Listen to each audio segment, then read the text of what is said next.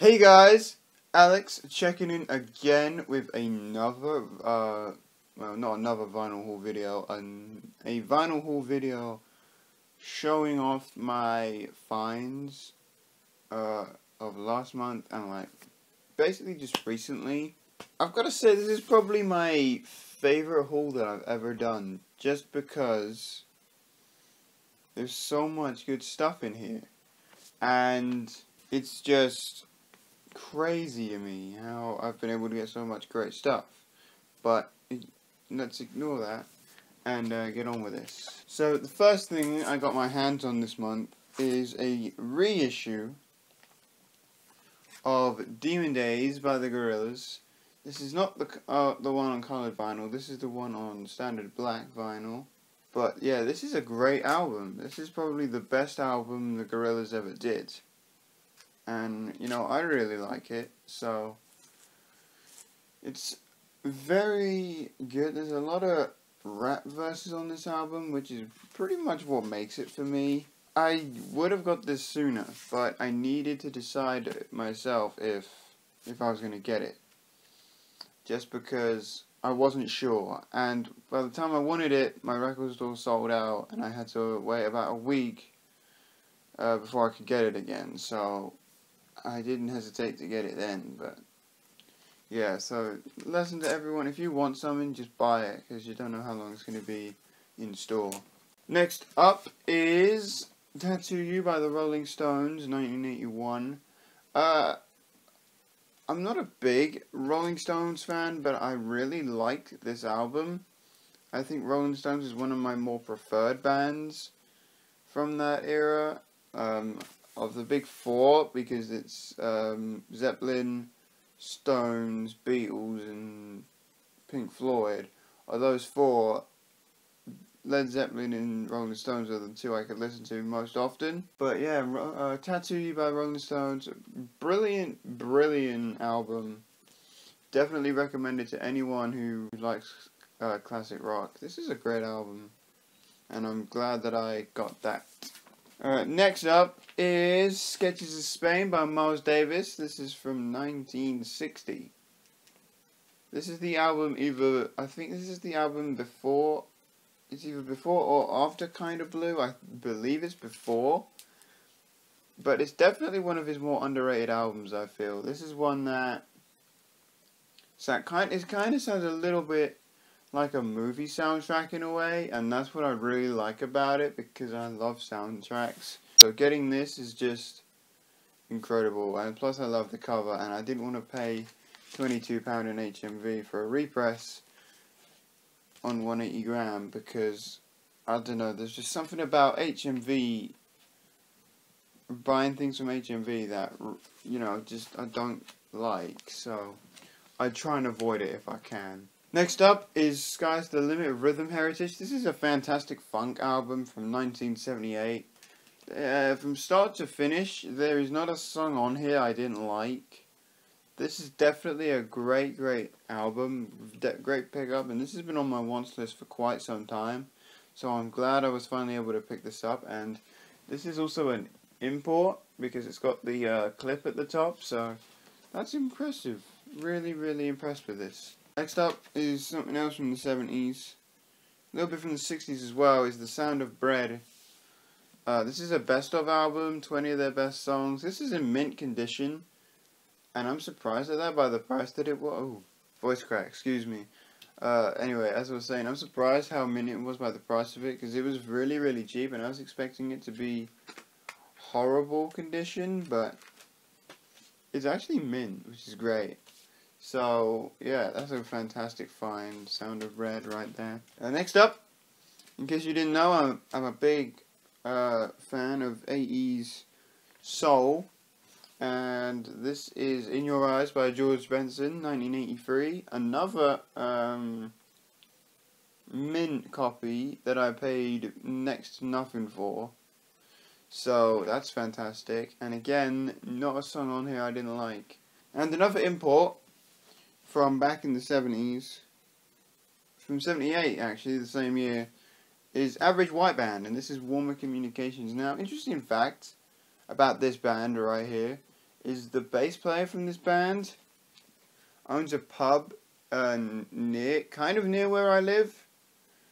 I believe it's this guy, the bass player. But yeah, he owns a pub near a, like a bar near where I live. Average White Band, amazing band, and brilliant cover as well, guys. Look at that. Next up is a 2015 reissue of Pearl Jam Dissidents. This is a uh, live gig they did in 1994 live at the Fox Theatre in Atlanta for their Versus tour. Uh, I got this not because I'm a big Pearl Jam fan, but because I really love the song Alive. Anywhere I've looked, I haven't been able to find the album 10 anywhere, uh, except for on CD. The only thing I don't like is that this album is clean.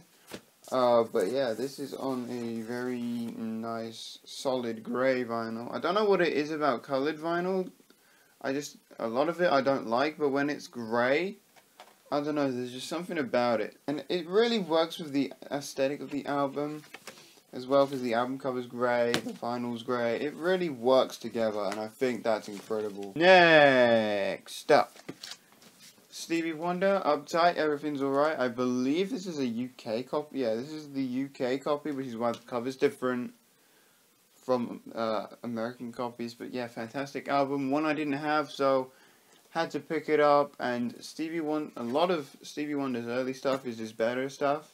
Next is an album I've been looking for for quite some time. One that pop doesn't pop up that often. It is Lionel Richie's self-titled album. This is one that I have been searching for for a long time from 1982. Uh, doesn't pop up that much, but this one is mint. My favorite Lionel album, even though my favorite song is on his second album, which I don't have, which is a little bit sad, but I will get that eventually. But his second album pops up so frequently that, you know, it can wait. Next up is this reissue. I believe this is 2015. This is a 2015 reissue of Wu-Tang Clan, Enter the Wu-Tang 36 Chambers. This is an album I've been hunting for for a while. I was going to get an original, uh, but then I would have had to wait a bit longer, and while the track listing on this is different from every other pressing of this album out there, the track list is still the same, it's just a different order of the songs. Which I'm, I don't mind as much because you hardly notice it unless you know this album really, really well. This next one's a bit random, but it's Eddie Murphy, comedian. 1983 is the year on this. It's in such terrible condition though that it's not that great, but he's really real.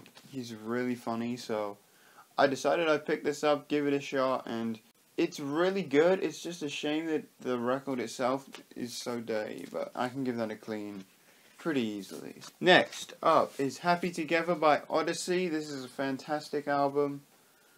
1982. There's a lot of covers on this. Odyssey did a lot of covers, I'm guessing back then, but still, their cover of Inside Out by Diana Ross is an absolute amazing cover. So yeah, I recommend that album if you're into either cover versions or really good funk music because it's just incredible. Next up is a hip hop 12 inch single. This is Big Daddy Kane's rap summary Lean on Me produced by Marley Marl, on the American Warner Brothers label. This is from 1989. The cover's not in great condition, which is why I've put it in this uh, plastic sleeve. But yeah, it is a fantastic single. It's mint condition, which is fantastic. And the price it was, I was not going to leave it there. Another Stevie Wonder album here that I've been searching for for a while. It's Characters by Stevie Wonder. Fantastic, fantastic album. 87's the year on this, so it's it's not the era of his best work, but actually this is very very good. I like how some of the parts actually just the feel of this album cover is incredible. There's a picture of Stevie, and you know any of Stevie Wonder's music is just incredible, but obviously his better stuff is his earlier stuff. But hey, that's uh, my opinion. Another hip hop single, but this one's a bit rarer than the last one. This is My Band by D12. It's got an instrumental version, an a cappella version of the song. It's from 2004, so obviously it's going to be a bit rarer because everything was on CD at this point. But yeah, Eminem is my favorite rapper, in case you didn't know. He's my favorite artist, uh, period. So I had to. There was no way I could let this sit in the store. No way. Next album is Rumours by Fleetwood Mac. This is an original, I believe. Not first pressing original, but still original because it hasn't got the Warner Brothers label with the forest kind of pattern on it. 77, great album. I picked this up mainly for the song The Chain, which is on the Guardians of the Galaxy 2 soundtrack. But yeah, it's still an amazing, amazing album. Definitely their best album that they've ever done. Uh, next thing I'm going to show you is Let the Music Play by Barry White from 1976. Great album from start to finish. Can't go wrong with a bit of Barry White. And I only had two of his albums, so you know, I obviously had to pick that up. This one you will know about. I opened it live on the channel. Well, not live, but you got a live reaction from me, so it's fine. Cigarettes After Sex, self-titled, uh, from 2017. Great album.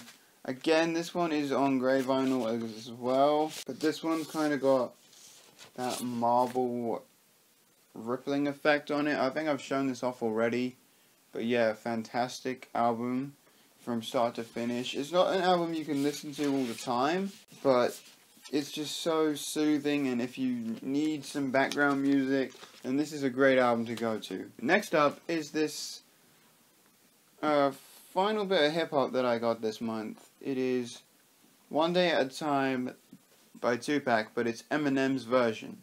So basically he produced produced it, but he put an extra verse, he put a verse by himself on it and also verses from the Outlawz on it, as well as keeping Tupac's verse in it. This is from the movie Resurrection, so I need to go see that. And this is just a fantastic single from, you know, from 2004, I believe, 2003, excuse me. But yeah, absolutely amazing, amazing pickup. This was actually given to me by my friend, who also collects records. You know, just amazing that he gave this to me.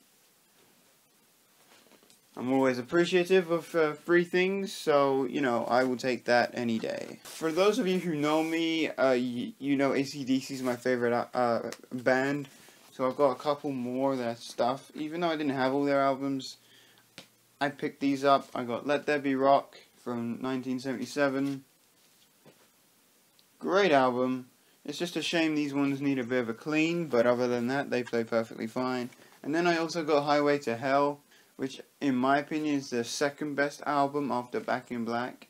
But this is their best uh, Bon Scott album, the last one that they actually did with Bon Scott on, vine, on uh, vocals, excuse me. God bless his soul. But next up, I got this reissue of Master of Puppets by Metallica. This is on red vinyl. And I think this is a 2015 reissue. But yeah, it's just an amazing album. I've been looking for this for a while. While the pressing is not the best, it's pretty cool looking, I guess. I mean, it looks alright when it spins around on the turntable. It's not my... Red is my favorite color, but... Yeah, I'm not a huge fan of colored vinyl full stop, so that's why I don't have a lot of it. There is that.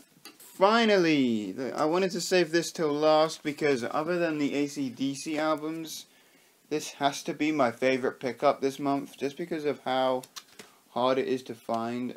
I've only seen two Lionel Richie albums, but I've never seen this on vinyl in person before.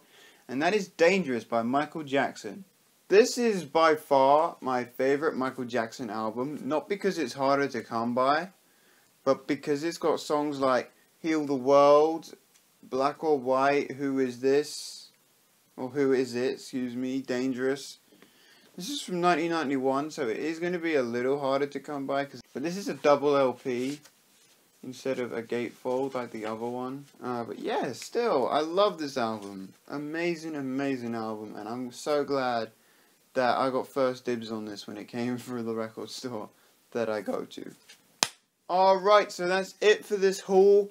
Guys, thank you so much for watching. I hope to get even more stuff uh, for next month's vinyl haul. Uh, I'm glad you enjoyed watching this. If you did, make sure you give it a like. Don't forget to subscribe and turn on your notifications so you immediately know when I upload next.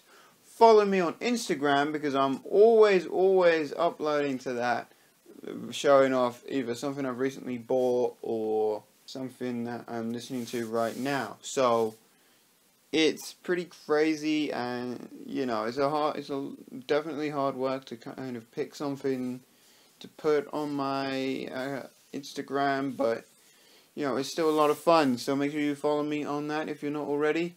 And with that Alex Spins Vinyl checking out. Peace